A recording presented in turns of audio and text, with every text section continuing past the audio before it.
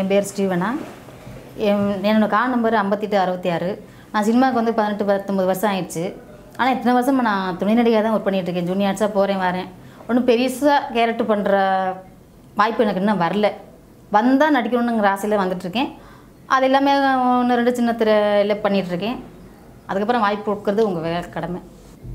வயசு வந்து எனக்கு முப்பது. லாங்குவேஜ்னு சொன்னால் எனக்கு பிறந்தது எல்லாமே தமிழ் தான். தமிழை தவிர எனக்கு எதுவுமே தெரியாது. ஆனால் கொஞ்சம் கொஞ்சம் மலையாளம் கொஞ்சம் புரியும் தெலுங்கு கொஞ்சம் புரியும்.